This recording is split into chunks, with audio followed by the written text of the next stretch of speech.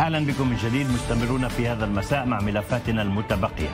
القيادة الفلسطينية تضغط على حماس لتسليم القطاع لها، وجرينبلات يطالب الحركة بتسليم القطاع وسلاحه، وقياديو الحركة يجتمعون مع الرئيس اللبناني لتسهيلات لتسهيل مسيرات العودة في لبنان.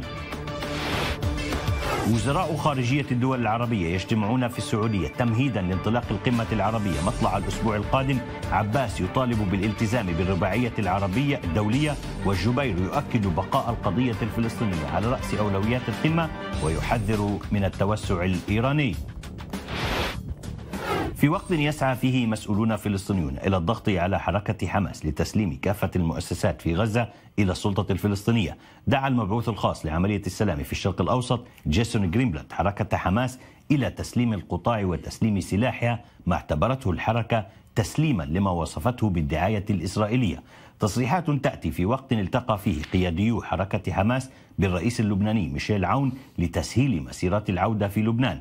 يأتي هذا بعد فتح مصر لمعبر رفح استثنائيا في كلا الاتجاهين.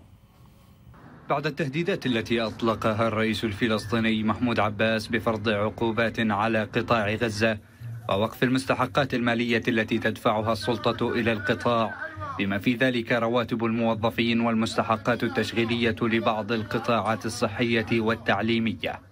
أغلقت بنوك غزة أبوابها وبعد ساعات من صرف رواتب الموظفين في الضفة دون صرفها في قطاع غزة ودون صدور بيان رسمي من وزارة المالية بشأن تأخر الرواتب. الأمر الذي اعتبره البعض سياسة يتبعها عباس للضغط على حركة حماس للسير في عجلة المصالحة. الرئيس أبو مازن لا يمكن والقيادة الفلسطينية أيضا معه أن تبقى بمثابة صراف آلي لحماس في آه، قطاع غزة آه، وتحاول فرض الشروط وشرعنة الانقلاب أيضا. بتثبيت ما تريد من موظفيها أو مسلحيها. حركة حماس من جهتها سارعت بالرد على تهديدات عباس واعتبرت أن الرئيس الفلسطيني جزء من مؤامرة دولية وإقليمية تحاك ضد الحركة ويمارس سياسة العقاب الجماعي ضد القطاع مضيفة أنها لن تقبل وبأي شكل من الأشكال بالشروط التي طرحها الرئيس الفلسطيني. المواجهة بحاجة إلى تحديد وحدتنا الوطنية الفلسطينية يشارك الكل الفلسطيني آه، في هذه المواجهات اليومية. إذا لم نكن كذلك فلابد أن يكون هناك مرحلة جديدة من الشعب الفلسطيني هي التي تقود الشعب الفلسطيني وتنوب عنا جميعا. قيادة السلطة الفلسطينية والتي لا تزال تنتظر ردا من المصريين بشأن شروط عباس. أكدت استعدادها لتحمل كافة مسؤوليات القطاع في حال تمكين الحكومة من كافة الملفات هناك.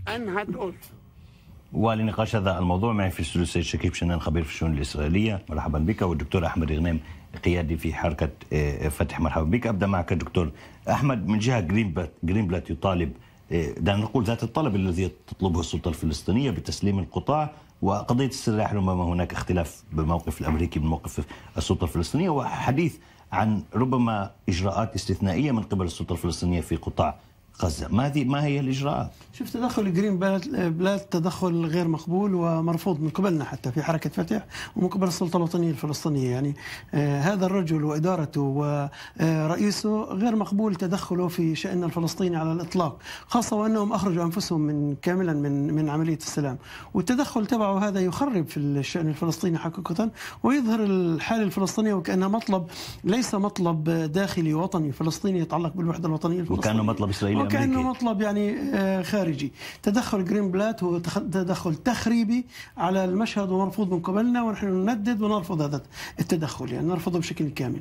أما فيما يتعلق آه، يعني في مسألة الإجراءات آه، أعتقد بأنه يعني الأمور وصلت إلى حد يجب أن يتم الإجابة فيه على الأسئلة الصعبة على حركة حماس أن تجاوب على الأسئلة الصعبة. ما هي يعني ما هي المعطيات التي يعني تفكر فيها حركة حماس لتنفيذ وإنهاء عملية المصالحة.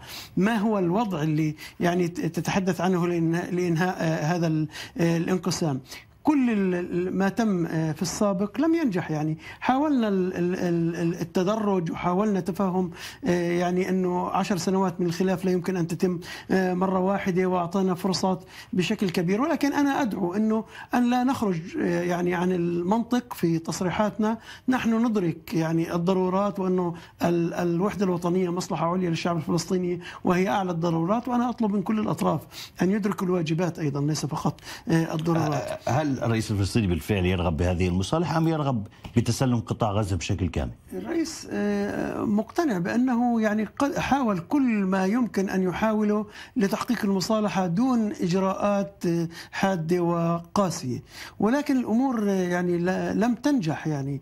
وصلت إلى طريق مسدود وفتح هذا الطريق المسدود. أنا بعتقد أنه الباب لا زال مفتوحا يعني لمراجعة كل المسائل واتخاذ إجابة الأسئلة بشكل صريح. وواضح، الأسئلة الصعبة التي رفض الإجابة عليها لغاية الآن، يعني علينا أن نجاوب عليها، مسألة تمكين الحكومة لا يمكن يعني أن يمارس أن تمارس وحدة بدون ما يكون حكومة، إحنا بنتحدث عن حكومة لحركة فتح يعني بنتحدث عن حكومة آه، وطنية تشارك فيها كل القوى الوطنية بما فيها حركة حماس، ونتحدث عن تمكين يعني تمكين في ال في ال شو- النظام العام، الشرطي اللي في الشارع هذا. يعني لمين بيتبع؟ ال- القاضي اللي اللي بقاضي الناس يعني لمين بيتبع؟ لا يجوز إنه يتبع. لا لهذا الفصيل ولا ذاك، نحن لا نريد قضاة ولا شرطة تابعين لحركة فتح، لا نريد يعني أي جزء آه، باللي بيمارس الممارس ال- ال- المهام التنفيذية على الأرض أن يكون تابع لا لحركة فتح ولا لحركة حماس، نريد أن يكون هناك قيادة للشعب الفلسطيني منتخبة من الشعب الفلسطيني يعني تحتكم إلى الشعب الفلسطيني وإرادته ولا تحتكم لمنطق لا الميليشيات ولا الفصائل. نعم سيد شكيب في خضم هذا التلاسن الكلامي بين آه، حماس وفتح بالنسبة لقطاع غزة تمكين الحكومة أو عدم تمكين الحكومة. بشكل استثنائي لا نقول آه، مصر تفتح معبر آه، رفح بعد إغلاق طويل والجميع يتساءل عن التوقيت. دعنا نقول إسرائيل ترى الأمور بمنظار آخر يختلف جدا عما تفضل به زميلي المحترم. إسرائيل ترى تسمع هذه الأصوات وترى الواقع. الواقع هنالك مسيرات عودة الواقع هنالك فشل ذريع لعملية المصالحة الفلسطينية. الواقع أن ما يربط غزة والضفة الغربية من من وجهة النظر الإسرائيلية أو من الواقع الذي يرى يراه الإسرائيليين هو أن فقط كلمة كلمة فلسطين هنالك فلسطين غزاوية وهنالك فلسطين ضفوية فتح المعبر هو عملية تنفيس من قبل مصر والولايات المتحدة الأمريكية للضغوطات التي يعيش بها آه، الإنسان الغزاوي. وبنفس الوقت هذا الأمر أكيد منسق مع إسرائيل ولكن لم يتم فتح المعبر في رفح إلى إشعار آخر. مصر أعلنت أنها ستفتح المعبر لف- لفترة وجيزة لتظهر على ما يبدو بكلمات يعني آه، كما يقال آه، عكس معكوس لتري المواطن الغزاوي انظر ماذا يمكن أن يحدث إذا تحرك كذا وكذا وهذه عملية إضافية وعملية الضغط التي يقوم بها جرينبلات وبتنسيق مع أبو مازن. أبو مازن لا يريد ولا بأي شكل من الأشكال أن تبقى حكومة حمساوية في غزة تسيطر على الأمور وبشكل شكل اسمي فقط وكأن السلطة الفلسطينية موجودة في غزة وهي غير موجودة والسلاح هو لا يزال حمساوي. وكل هذه الأمور لا يستطيع أبو مازن أن يتعايش أن يأخذ مسؤولية عنها في نهاية المطاف. وإسرائيل بنفس الوقت تتوافق مصالحها مع الرؤية التي يطرحها أبو مازن. يعني إسرائيل أيضا أو كل الهدف من تأجيل إعلان الصفقة الأمريكية أو صفقة السلام الشرق أوسطية قيل العامة. بأنها قريبة جدا للطرح. كل تأجيلها حتى الآن كان إعطاء فرصة للمصالحة الفلسطينية ليستطيع أبو مازن أن يتحدث باسم كل الفلسطينيين في غزة وفي في الضفة الغربية ونحن نرى على أرض الواقع هذه الأمور لا تحدث. لذلك جاء جرينبلات ووضع ال- البندقية على الطاولة وأشار بها باتجاه حماس. عليكم أن تتنازلوا عن سلاحكم وليس فقط أن تتنازلوا عن سلطتكم. وصلت الفكرة. دكتور أحمد أعود إليك مرة أخرى وكما ذكرنا في التقرير بأن حماس أيضا بالنسبة لمسيرة العودة. هناك يقول بأن السلطة الفلسطينية في البداية دعمت مسيرة العودة ربما في الآونة الأخيرة رأوا بأن هذا يصب لصالح حماس وليس لصالح الشعب الفلسطيني بشكل عام. وحماس تلتقي ميشيل عون وتطلب منه, منه تسهيل آه، مسيرات العودة آه، في لبنان بعد ربما كان نوع من التضييق. لكن بالنسبة لمصر أعود بك مرة أخرى. كيف ترى التوقيت؟ شوف آه، نحن شركاء أساسيين يعني حركة فتح شركاء شريكة أساسية في قطاع غزة فيما يتعلق بمسيرة العودة وإحياء الذكرى ذكرى ال ال العودة يعني ذكرى الكارثة وذكرى النكبة. إيه، إحنا شركاء فيها بشكل تام وقيادات الميدانية لحركة فتح يعني تتابع المسألة بشكل عالي وبشكل كامل. هناك أفكار لتوسيع آه، فكرة مسيرة العودة لتشمل دول الطوق يعني الحديث عن دول الطوق ربما يعني حركة حماس تتقدم للاجتماع مع بعض رؤساء المنطقة. هذا بالجهد الذاتي أما لجنة التنسيق الوطنية هي التي تقود مسيرة لماذا لا نرى هذه التظاهرات في الضفة الغربية؟ الموضوع المتعلق أنا يعني قلت أكثر من مرة إنه الوضع في قطاع غزة مختلف إلى حد كبير عن الضفة الغربية، هناك أسباب مباشرة وهناك أسباب غير مباشرة. السبب المباشر هو القرار الذي اتخذ بإحياء آه، آه، آه، ذكرى النكبة على مدى شهر كامل في قطاع غزة، بينما في الضفة الغربية القرار أن يكون هناك إحياء للذكرى في موعدها في الأيام في الأسبوع الذي في الأسبوع القادم، يعني في بداية أيار. آه، نهاية الشهر الحالي عفوا فيما يتعلق بمصر والتوقيت لفتح المعبر أعلنت آه، يعني مصر من طرفها أنها تريد أن آه، تفتح المعبر ومصر في فتح المعبر تتعامل بمنطق له علاقة بالأمن القومي المصري يعني حسابات متعلقة في الأمن فقط نحن نتمنى أن يعني هذه الحسابات يعني تصل إلى نتيجة بأنه يجب أن يفتح هذا المعبر بشكل دائم اسوى بكل المعابر بين يعني دول العالم وبين لا يجوز أن يبقى هذا المعبر مغلقا ويفتح فقط في المناسبات. نعم أردت تعقيب سيد شكيب. بجملة أو جملتين بجملتين.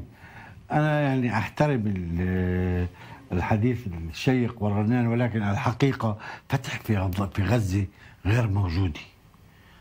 يعني باستثناء الأشخاص الذين يتقاضون الرواتب ويتملقون أنهم فتح. السيطرة هي لحماس والجهاد الإسلامي وكل ذلك. 1500 شهيد 1900 شهيد منهم أوكي 2500 جريح 1900 جريح 1970 جريح من حركة لم أقطع حديثك من حركة فتح فقط. لم أقطع حديثك ولكني تبسمت. أنا بعرف الأرقام. الشيء الأخير المهم أكثر أنه حماس في تزايد بقوتها بشكل كبير في الضفة الغربية وفتح تتغنى وكأنها جزء من الإطار. فتح فقدت إمكانية الاستمرار إذا بدأ إذا إذا استمرت في الركض وراء حماس. لا إذا فيش عندها مبادرة ولا يوجد لديها إمكانيات قيادية لتجر أو لتذهب بالشعب الفلسطيني إلى أمل فمع الوقت ستخسر نفسها أيضا لحماس. نعم ابقوا معي والآن أعزائي المشاهدين ننتقل إلى الملف الرابع والأخير.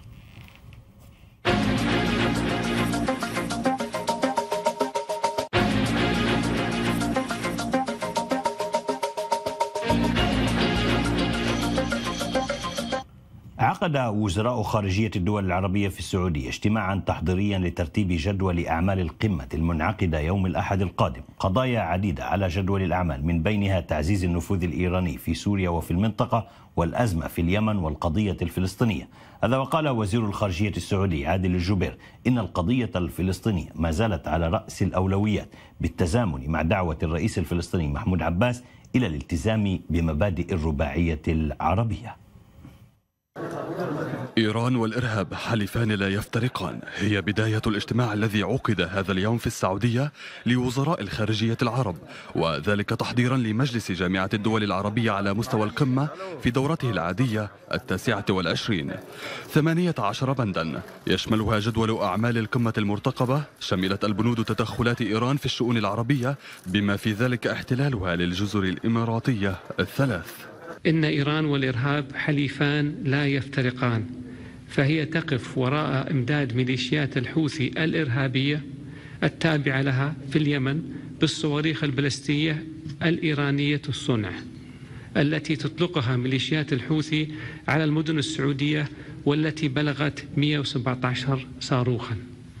مصادر دبلوماسية أكدت أن القمة ستعلن التمسك بالسلام كخيار استراتيجي وتشدد على عدم وجود سلام أو تطبيع للعلاقات مع إسرائيل دون خروج الأخيرة من الأراضي الفلسطينية المحتلة عام 1967 واعترافها بحق الشعب الفلسطيني في تقرير مصيره وإقامة دولته المستقلة وعاصمتها القدس.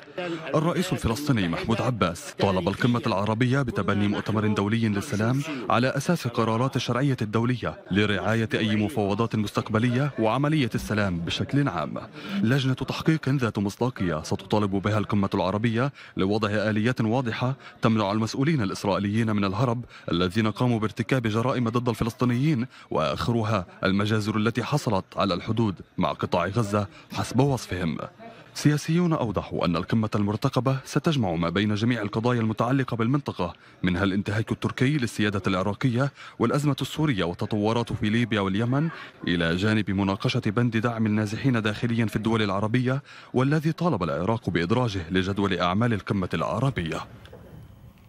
أعود إلى ضيفي في الاستوديو السيد شريف شنان خبير الشؤون الإسرائيلية وأيضا دكتور أحمد غنيم قيادي في حركة فتح. أبدأ معك. أبو مازن سيشارك وأيضا قال بأنه يجب الالتزام بالمبادرة العربية وأيضا قال ربما عليهم أن يذهبوا إلى طرح الرئيس الفلسطيني بالنسبة لعملية السلام لكن القمة العربية منشغلة بملف آخر وهو الملف الإيراني.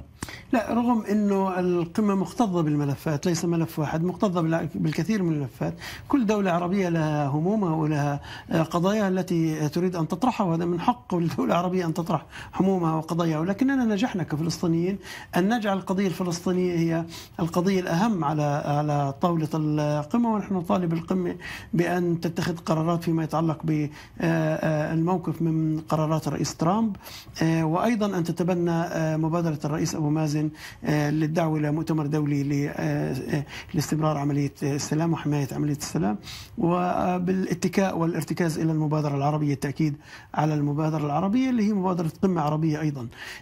رغم كل يعني المحاولات لجعل هذه القمة قمة متعلقة في قضايا فقط يعني لا تشمل القضية الفلسطينية وقضايا ربما تحاول أن تستبدل أسس الصراع في المنطقة ودولة الأعداء في المنطقة الأعداء في المنطقة إلا أن كفلسطينيين تمكنا من فرض أجندتنا على طاولة مؤتمر القمة وبالإشارة إلى مسيرة العودة والنشاط الفلسطيني على الأرض أنا أقول لك أن جزءا من من هذا النجاح الفلسطيني كان بالدماء والشهداء الذين قدموا على الأرض في قطاع غزة وأيضا النضال المستمر للشعب الفلسطيني. نعم سيد شكيب دعنا نقول بالرغم من تغني نتنياهو على سبيل المثال بأن القضية الفلسطينية ليست على رأس أولويات الدول العربية حتى عادل الجبير وزير الخارجية السعودي يقول بشكل واضح بأن هذه القضية هي على رأس الأولويات وبعد ذلك نتطرق إلى النفوذ الإيراني أو التوسع الإيراني لا نبدأ بالجع كنت أتمنى أن يكون هذا الأمر صحيح يعني.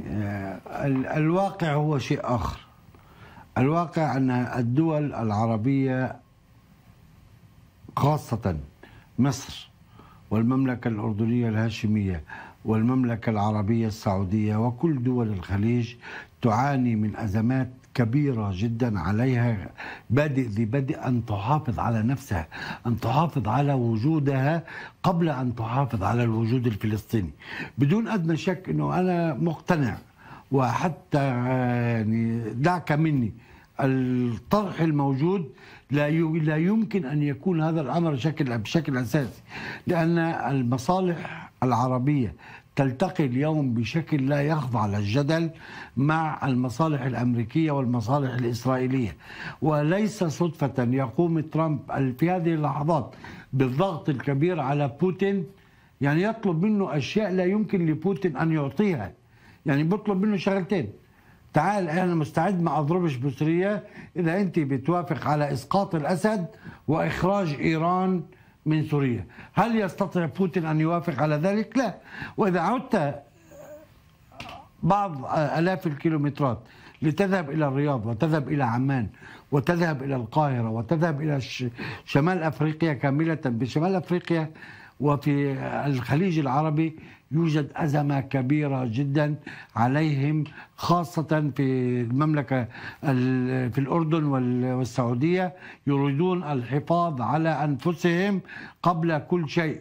وجمع القيادات العربية وتوحيد هذه القوى يأتي بهدف واحد فقط محاولة لإقناع الفلسطينيين بالذهاب إلى هذه الصفقة.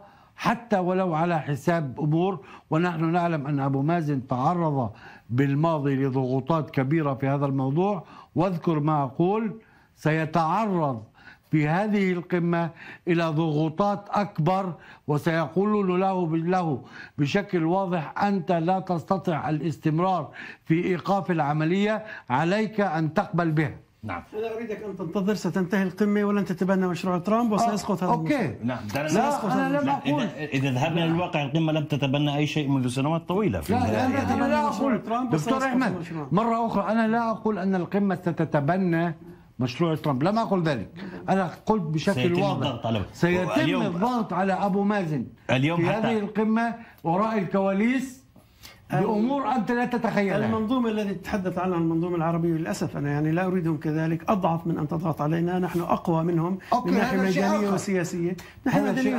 إحنا الطرف الأضعف من ناحية القوة العسكرية على الطاولة ولكن الأ- كيف تفسر ولكن؟ الطرف أحمد، في الضمير لماذا العربي يقوم الطرف ولي العهد ولي العهد السعودي. حامل شنطة يا عمي وعم بربن بأوروبا ولي العهد السعودي نفسه. ولي العهد؟ السعودي ولي العهد هو السعودي يريد نفسه يجند الأسبوع أوروبا الماضي يريد أن يجند شكيب. لتقف بجانب الولايات المتحدة الأمريكية في عملية الدفاع عن الدول العربية ولي لو ولي العهد نفسه الأسبوع الماضي قال بشكل واضح لن يكون هناك تطبيع قبل حل القضية الفلسطينية. عاد وكررها اليوم أيضا. نجحنا في إسقاط okay بس أنا عم بقول يعني ما دام الفلسطينيين غير متحركين بما فيه الكفاية وغير ذاهبين إلى قبول الصفقة ولو جزئيا سيبقى الأمر على ما هو يعني جرين بلات وكوشنر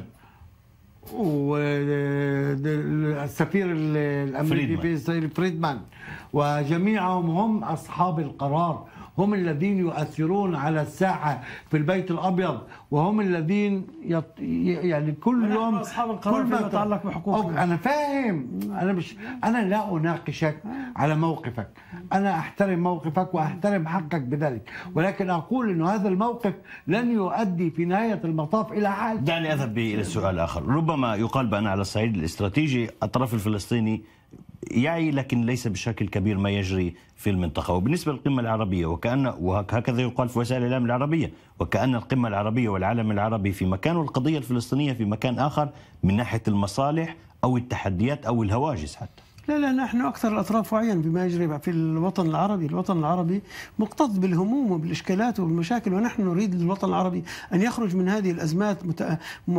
يعني متعافي ويعني منتصر وموحد من كل هذه الأزمات، نحن نريد للمملكة العربية السعودية أن تخرج من أزمتها ولليمن أن تخرج من أزمتها ولليبيا ولكل الوطن العربي، نحن شركاء في هذا الهم ونريد أن يخرج المواطن العربي بكل بقاع الوطن العربي من هذه الهموم. ولكن المسألة كيف يعني نخرج نخرج من هذا الأمر؟ هل نخرج من من حالة الفوضى العربية ببيع القضية الفلسطينية مقابل إنه نبيع القضية الفلسطينية ونخلص من همومنا؟ لا لا, مش حيخلص حد من من همه سنضيف هموما أخرى. نحن نتحدث بشكل منطقي وبشكل عقلاني مع كل الدول العربية مع كل المنظومة العربية نحن شركاء بهمومكم ونريد أن يعني نقدم كل ما يلزم لخروج المنطقة العربية من هذا من هذه من هذه الحالة ونريد من القمة العربية أن تتمسك ومن العرب أن يتمسكوا بحقوق الشعب الفلسطيني التي حقوق للأمة العربية بأكملها. إحنا ضمير الأمة. إحنا ضمير هذه الأمة. هل هناك غضب فلسطيني على المواقف السعودية الأخيرة؟ شوف المسألة ليست مسألة في السياسة.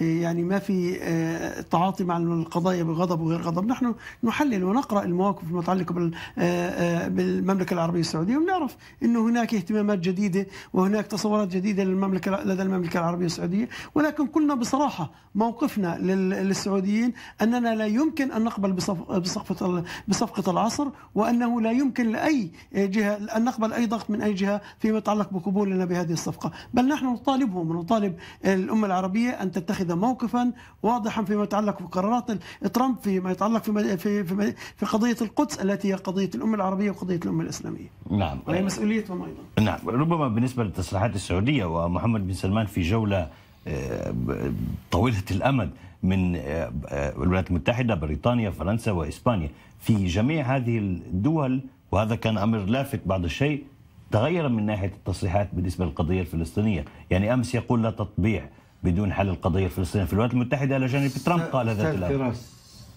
بدأ محمد بن سلمان في واشنطن ومن هناك لم يعد المملكة استمر في جولته المكوكية في أوروبا. هنالك تنسيق أمريكي سعودي. صحيح أن الفلسطينيين لا, لا يقبلون وكل ما يقول يقول الدكتور واضح. وإلا كانت الأمور قد اختلفت وانتهت منذ وقت. ولكن الحقيقة أن المملكة العربية السعودية أعلنت بشكل واضح أنها مع حق الشعب اليهودي ومع حق دولة إسرائيل في الوجود دون أن يأتي ذلك على حساب حق الشعب الفلسطيني في الحصول على دولة. ولكن من وجهة النظر الموجودة اليوم هنالك صفقة موجودة. الإدارة الفلسطينية تعرفها جيدا. طرحت عليها في صحيح. أكثر من موقف. ورفضتها. لا. صح. رفضتها أكيد. ولكن هذه الصفقة لا, لا يحدث فيها تغييرات. ولا يزال ولا تزال إدارة ترامب تتوقع في نهاية المطاف أن تأتي السلطة الفلسطينية وتقبل على الأقل العودة إلى طاولة المفاوضات. وهنالك يتم الأخذ والعطاء نعم أم لا؟ نوافق أو لا نوافق؟ القدس نعم تجزأ أو لا تجزأ؟ ما هي الحدود؟ ما أين يكون جيش؟ أين لا يكون جيش؟ هل حماس ستستمر؟ نعم أم لا؟ كل هذه الأمور مطروحة السلطة الفلسطينية لا تقبل بها. نعم دكتور أحمد اليوم كانت أنباء من قبل مسؤولين في البيت الأبيض يقولون بأن طرح الصفقة قريب جدا وتم تعديل تعديلات على هذه الصفقة هل هناك فرصة أو إمكانية أن تقبل السلطة الفلسطينية؟ من خمس شهور هم يقولون هناك تعديل وسنعلنها نهاية الشهر وكل شهر نهاية الشهر لن تعلن هذه الصفقة ولن تكون لأنها سقطت وفشلت ولم تعد قائمة ربما في القمة العربية لم تعد هذه الأمر. الصفقة لم تعد قائمة الرئيس ترامب يتنقل من ملف إلى ملف ومن فشل إلى فشل. يعني مح... يعني ضغطه على يعني في حال فشل الرئيس ترامب بطرح الصفقة من سيكون البديل؟ نحن يعني حتى نهايه عهد ترامب لن يكون أي تغيير. إحنا طرحنا مشروع بديل الرئيس أبو مازن طرح مشروع بديل مؤتمر دولي يطرح مؤتمر دولي ورفض من قبل إسرائيل. يتقاطع مع كل دول العالم. نعم لم يبقى للوقت. لم نترك هذا المشروع تاع ترامب لوحده على الطاولة. طرحنا مشروع نعم. أهم ومقبول من دول العالم رفض رفض مشروع نعم. مش بس إحنا. دكتور أحمد غمران القيادي في حركة فتح شكرا جزيلا لك. سيد شكيب شنن الخبير في الشؤون الإسرائيلية. جزيل الشكر. أعزائي المشاهدين ختام هذا المساء. بعد قليل سوف نكون مع المناظرة اليومية. ابقوا معنا.